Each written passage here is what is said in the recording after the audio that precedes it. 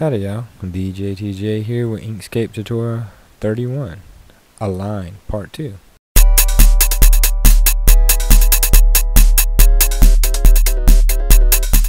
Okay, we had covered Align in a previous tutorial and we're going to go ahead and finish the bottom part of that dialog up today. You can get to your Align palette by going down to Align Object, Align Distribute or Shift Control A. left click and hold and you can drag that a little bit out. Now we had already gone over align and distribute in an earlier tutorial so we're going to cover rearrange and remove overlaps today.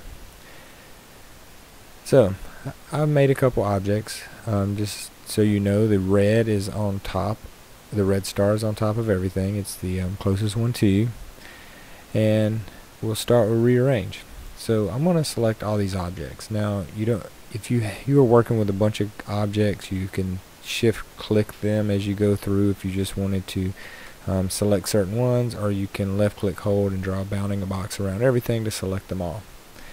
Now the first one on rearrange is nicely arranged selected connect connector network.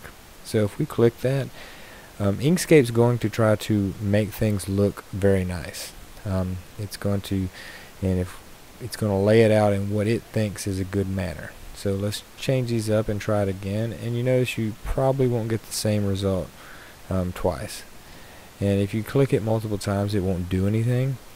So you had you would have to actually unselect, move them around, and then do it again to get some um, get them to move around and change the position.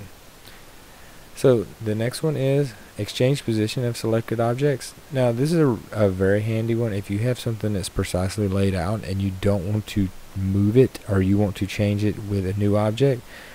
Um, you can select an object, shift, select another object, and then hit that button and it'll um, basically just change their center points. Control Z. The next button is exchange position of selected object based on stacking order. Now that's why I commented a while ago that the red star was on top. What this would do is if I selected three objects and I clicked it, it will move them based on their stacking order. So now that you see that the lowest one, which is the green, has moved where the star was, the circle has moved where the green was, and now the star is down here and you can keep doing that and it'll make a little chain. The next one is exchange position of selected objects rot clockwise rotate. So now they're going to go in a clockwise manner.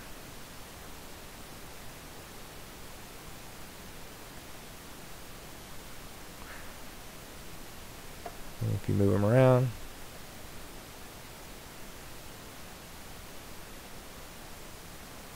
and there you go.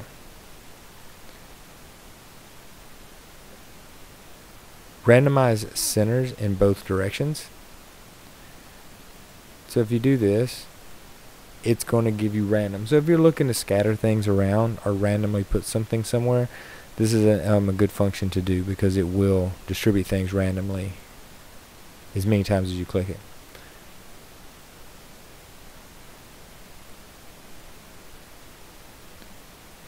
Finally, you have unclump objects try to equalize edge-to-edge -edge distance. So if you had something like this, and they're spaced out, and you sort of want to get them generally equal distance apart, or their center one distance apart, and without trying to go to the line and distribute area, you can use this to do that. And it'll gradually move it, move the um, pieces around to sort of spread everything out equal distance apart. The last section is remove overlaps. So these objects are overlapping each other. And if you select them all, and you can hit this button here, move objects as little as possible so that their bounding boxes don't overlap. That's what it'll do. It'll spread everything out just enough. Now, these controls, the um, H and the V, control how far they'll go out. So notice that if we do that again, they're just moved out so the bounding boxes are just barely touching each other. Let's raise this up and raise this up and click it again and now we've added space. These are going to be in pixels as the default setting for these. If you didn't want something to move, control Z, a certain direction, either vertical or horizontal, you can set the negative. And when you do it, notice how this won't move all the way out because the negative's been set. So you can play with that to get the um,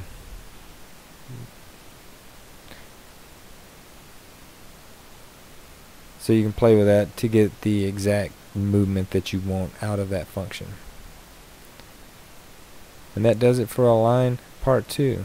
Please join us for Inkscape tutorial number 32, Columns and Rows. Thanks for watching.